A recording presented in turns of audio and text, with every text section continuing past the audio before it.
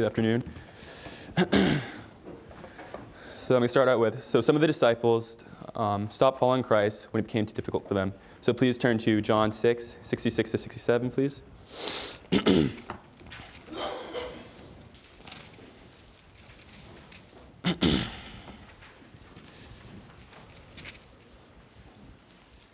Starting in verse 66.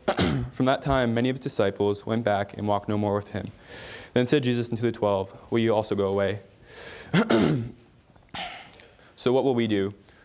Will we also walk away from the Lord? But I exhort you to continue, as we will see in 2 Timothy. If you could turn to 2 Timothy 3 14 to 17.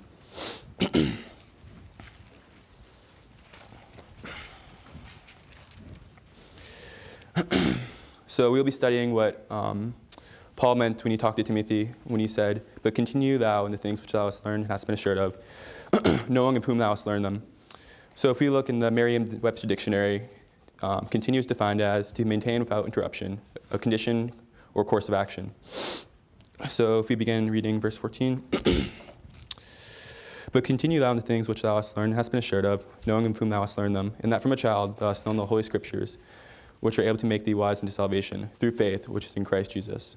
All scripture is given by inspiration of God and is profitable for doctrine, for reproof, for correction, for instruction in righteousness, that the man of God may be perfect, thoroughly furnished unto all good works. so when he says, but continue, he's referring to Timothy, as Timothy is nothing like the men of the previous verse, as we see in verse 13. but evil men and seducers shall wax worse and worse, deceiving and being deceived. As we are light of the world, sorry, light of the world, as we see in Matthew 5:16, if you could turn there.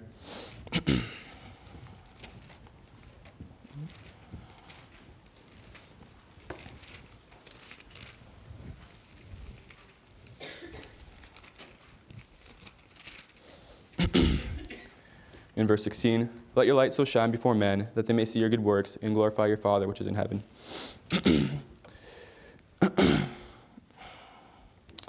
and then, as going back to 2 Timothy, as he continues, he speaks to um, Timothy's faith as um, his mother and his grandmother and Paul also had a big impact on his life. Uh, if you could turn to 2 Timothy 2, or sorry, 2 Timothy um, 1, verse 5. Thank you.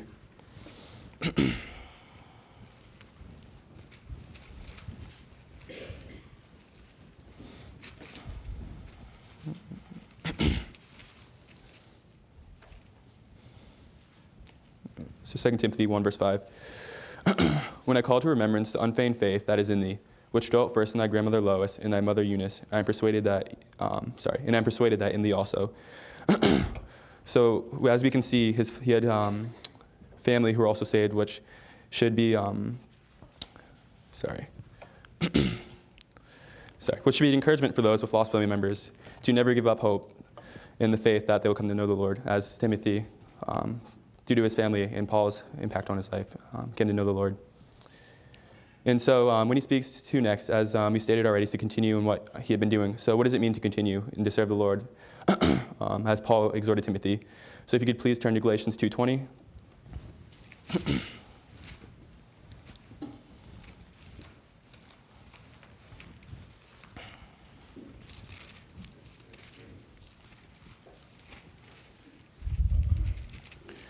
So to live for Christ is to be a crucified life, as we'll see in a second here. So 2 verse 20. I'm crucified with Christ, nevertheless I live, yet not I, but Christ liveth in me. In the life which I live now, in the flesh, I live by the faith of the Son of God, who loved me and gave himself for me. If you go to verse 5, sorry, chapter 5, verse 24 in Galatians. and they that are Christ have crucified the flesh with the afflictions and lusts. And also, we are exhorted to spread the gospel, as if you could turn to 1 Corinthians 15.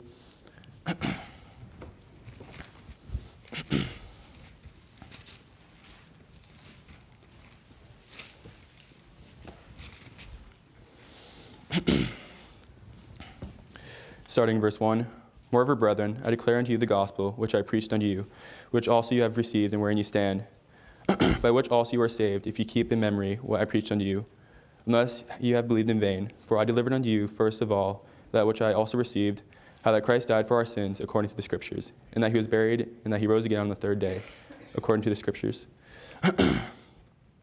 right. and then if we can turn back to 2 Timothy 3 again, we'll be looking at verse 16.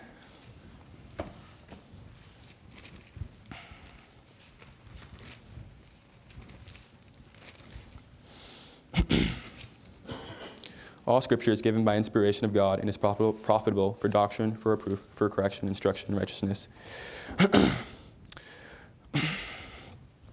then it continues that the man of God may be perfect, thoroughly furnished unto all good works. So I like how this gives us an outline for us to follow, as such as the Lord's Prayer is a, pat- is a pattern for us, not a rehearsed prayer, but something that gives us a guideline. And then as we continue verse 17, that the man of God may be perfect, thoroughly furnished unto all, unto all good works which is a summation of what verses 14 to 16 shows us. If we live a faithful life, we can be um, perfect until they furnished unto all good works. so, as we all know, this is an easy definition to understand. The goal is to never stop doing a task or thing you started. Keep striving toward the end goal, serving Christ and being a Christian towards others. Sorry, serving Christ and being a witness towards others, looking forward to his eventual coming. If you could please turn to Colossians 1:10.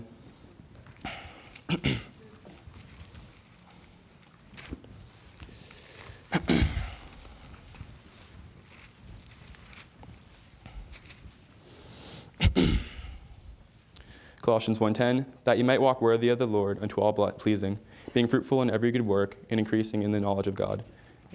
And if you could turn to Colossians 4, 5 to 6.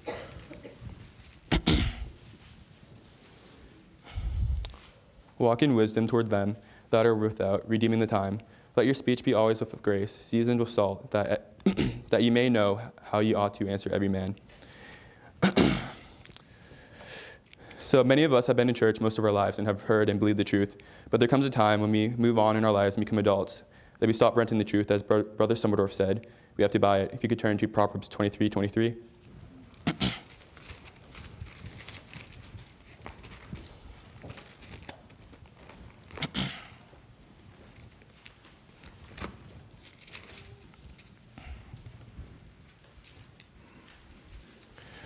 Buy the truth and sell it not, also wisdom and instruction and understanding. and it, it's also easy to fall away at times, so it's important that we are in the Word daily um, and praying. If you could turn to Philippians 4 6 to 7.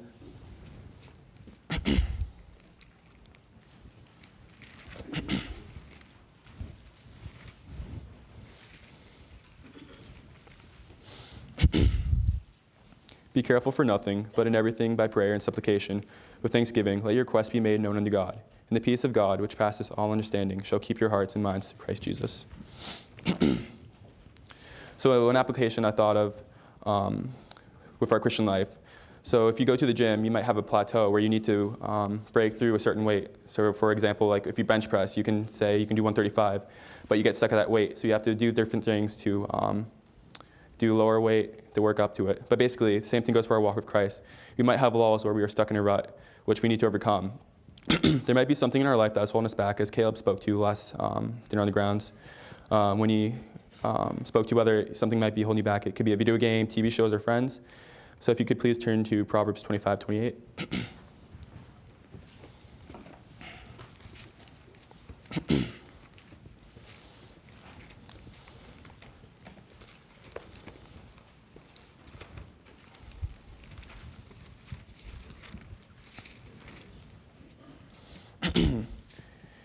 he that hath no rule over his own spirit is like a city that is broken down and without walls.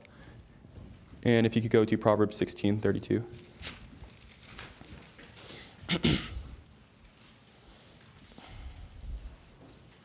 he that is slow to anger is better than the mighty, and he that ruleth his spirit than he that taketh a city.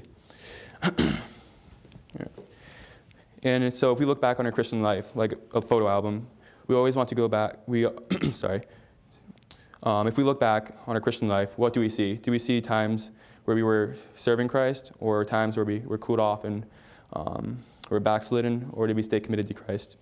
As Paul says, um, it's a race. The Christian life is a race. If you could turn to 1 Corinthians 9 24 to 27.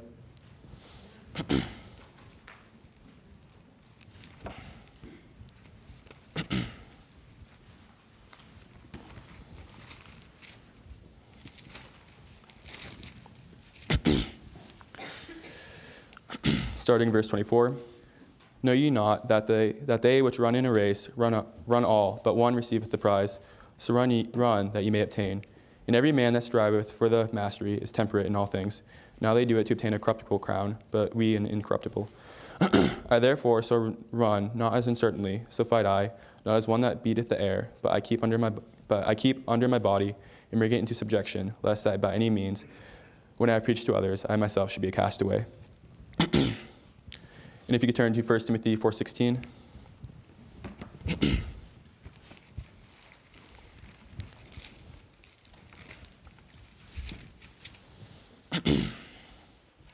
Take heed unto thyself and unto the doctrine. Continue in them, for in doing this thou shalt both save thyself and them that hear thee. And then if you turn to Acts 14, sorry, Acts 14, 22.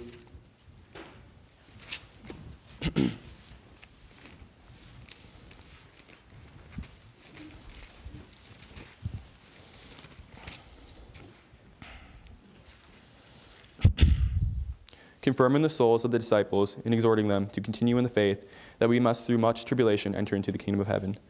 And if you could turn to Colossians 1:23.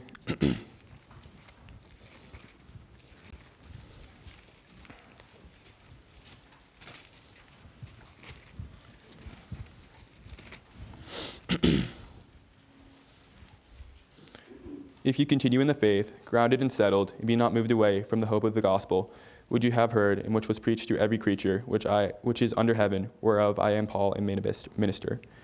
And if you could turn to 1 John chapter 2, verses 20 to 24.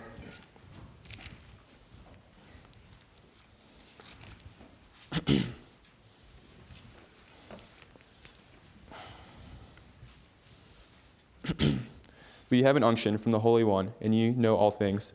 I have not written unto you because you know not the truth, but because you know it, and, you, and that no lie is of the truth. Who is a liar that he denieth that Jesus is the Christ? He is the Antichrist that denieth the Father and the Son. Whosoever denieth the Son, the same hath not the Father, but he that acknowledgeth the Son hath the Father also. And if you could turn to John 8, 31 to 32.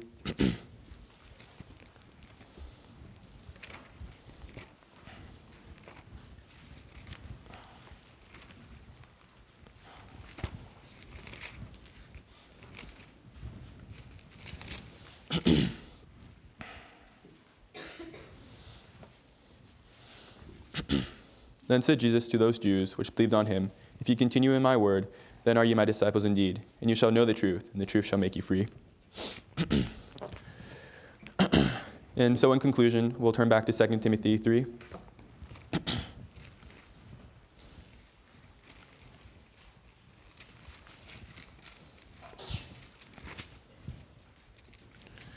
We'll start in verse 13. But evil men and seducers, seducers shall wax worse and worse, deceiving and being deceived. But continue thou in the things which thou hast learned and hast been assured of, knowing of whom thou hast learned them, and that from a child thou hast known the holy scriptures, which are able to make thee wise unto salvation, through faith which is in Christ Jesus. All scripture is given by inspiration of God, and is profitable for doctrine, for reproof, for correction, for instruction in righteousness, that the man of God may be perfect, thoroughly furnished unto all good works. so remember this as we will experience many trials through our lives we do not want to look back at our lives and wish we had, um, could have done things differently. Set your faith in God and have the determination to succeed through God's help. What moments do we have to look back on in our lives that pointed others to Christ? Were we an example of what a Christian is, a little Christ? Remember what we were fighting for and what is at stake. Will you continue? Thank you.